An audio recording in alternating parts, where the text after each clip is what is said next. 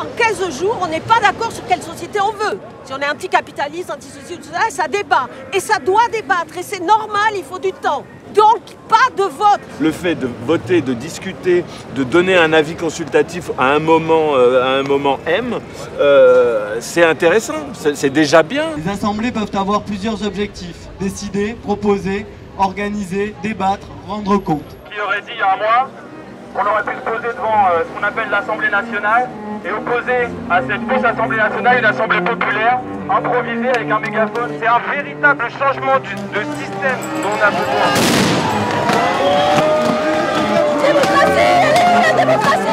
On a été fortement détruit parce qu'on a fait confiance à un schéma qui a été institué et qui aujourd'hui nous trahit pleinement dans, ce pouvoir qui nous appartient individuellement, qui est euh, le droit de transformation de la cité.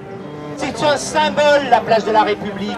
C'est pas uniquement quelque chose où se réunissent des gens qui parlent. C'est un lieu qui a matérialisé le refus d'un monde. Nous apprenons tous ensemble cette démocratie que nous voulons inventer. Si on dit Nuit debout décide que, tout le monde va nous tomber dessus pour nous dire non, Nuit debout décide pas que. On ne peut pas parler de ce truc en tant qu'unité. On va où?